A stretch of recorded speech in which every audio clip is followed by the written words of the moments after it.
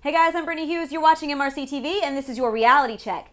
The topic of immigration has been thrown around a lot this election cycle, and to build a wall or not to build a wall, well, that seems to be the question before the court.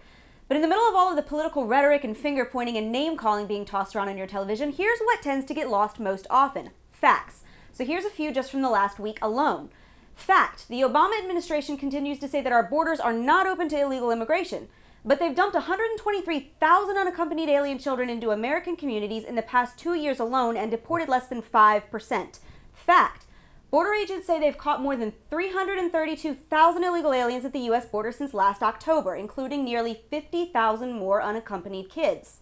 Fact. More than 420 border agents have been assaulted so far in fiscal year 2016.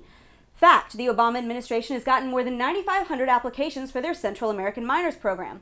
You remember that one, right? It lets illegal alien parents in the United States petition their government to bring their kids from Central America into this country. And guess who's funding this program? You. Oh, but it gets better. Jeh Johnson quietly announced this past week that he's expanding that program to include adults. So now the parents of all those illegal alien kids who have come to the United States can also apply to be brought here on the taxpayer dime, along with their adult children and related caregivers like aunts, uncles, cousins, whoever. Oh, and fact, we're spending nearly a billion dollars annually on our unaccompanied alien child program alone. We've also handed out 3 million in UN contributions for Central American refugees on top of sending 750 million in foreign aid to Central American countries, all courtesy of your wallet.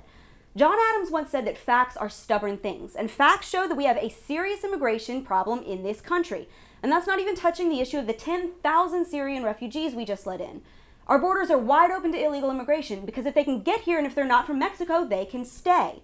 When you allow mass numbers of people into this country who did not come here legally and have no reason or plan to adopt U.S. culture, then mark my words, this country will begin looking more like the ones they're all trying to get away from, and we will all have to deal with that issue. Legal immigration is a way for safe, law abiding people to come into this country and become a member of our culture. Illegal immigration just transfers cultural problems to another place.